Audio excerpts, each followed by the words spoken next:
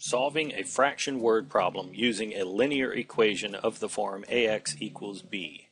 We're given Isabel needs to memorize words on a vocabulary list for Korean class.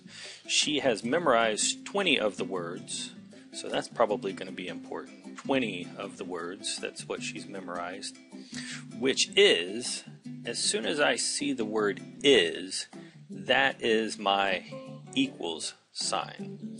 So 20 of those words, 20, which is, that's my equal sign.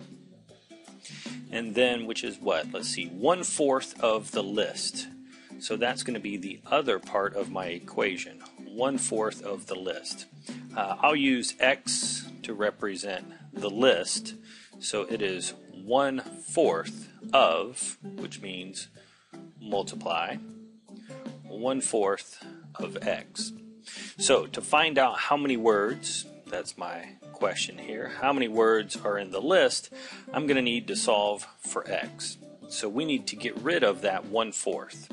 And we can get rid of the one fourth by multiplying by the reciprocal, which is 4.